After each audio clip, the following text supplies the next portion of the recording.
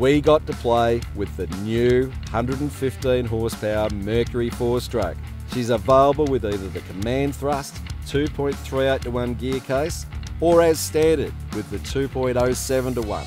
We drove two different gearboxes on two different Quintrex bow riders and then we got to have some real fun offshore with the Coastal Cat Ocean Runner with its pair of 115 horsepower Mercury 4 strokes with command thrust counter rotating legs.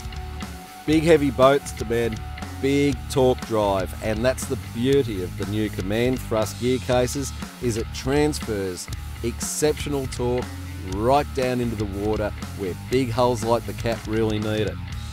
The drive was sensational, the manoeuvrability terrific. When you want to back up in that sea, the drive and reverse was terrific.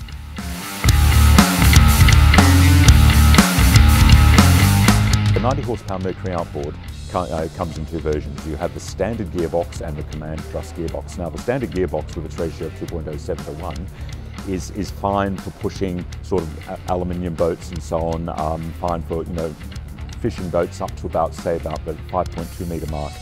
However, if you're going to push heavier boats, again like pontoon boats, or you're going to have a boat where you're taking out the family all the time and you're doing towing a skier or ski biscuit around and so on, you've got the command thrust, which is 2.38 to 1.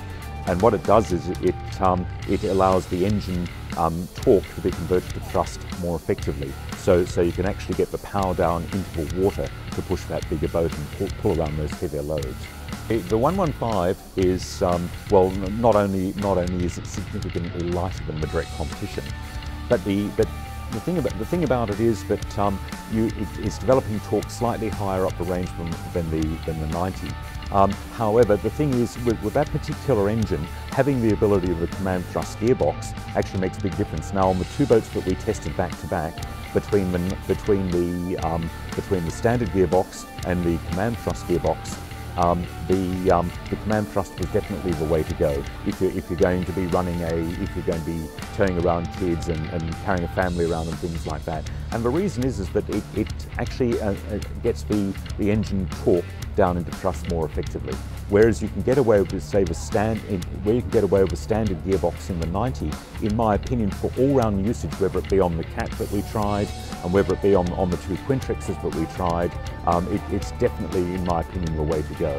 Um, we found that the, um, when, when John and I were out doing the testing, we found that the, um, um, the, the, command thrust um, equipped engine cleaned at lower speeds, had better mid-range fuel economy because again the engine torque was being translated, being converted to thrust more effectively and was slightly more efficient at wide open throttle with a slightly higher speed. But the main thing about it was it was able to plane at lower revs because you had a, a fatter, you had a, a, a coarser pitch, fatter bladed prop which was able to keep the boat on the plane at lower revs.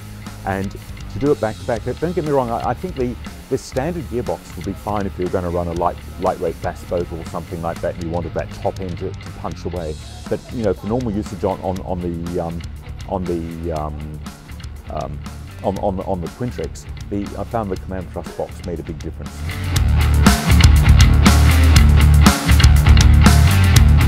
Very rare that we actually get the chance to use two different exact same boats fitted up with two different configurations. So it was great for Mercury to put them both on display for us on the Gold Coast. The difference was amazing. The performance levels on paper don't describe the difference in the drive. The smaller gear case worked perfectly and more than satisfying for any prospective buyer.